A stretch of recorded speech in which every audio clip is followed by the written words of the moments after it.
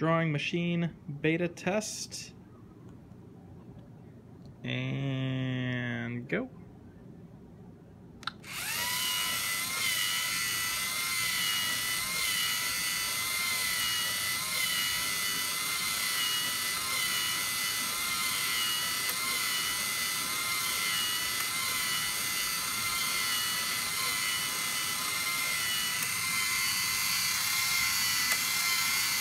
The two gears move at slightly different speeds, which allows it to move back and forth.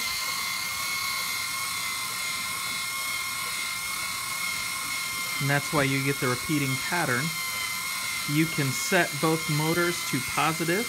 This is at 100 speed and 98 speed, which allows it to move back and forth like this and make that repeating pattern. If you have a negative and a positive speed, you'll get a different internal pattern.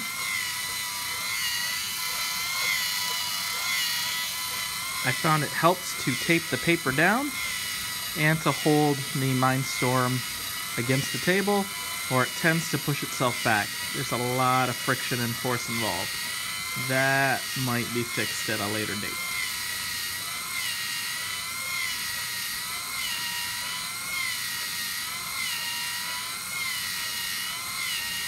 And it makes this cool spirograph pattern.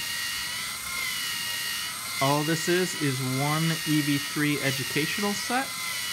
You could probably do it with a home set as well. Thanks. Bye.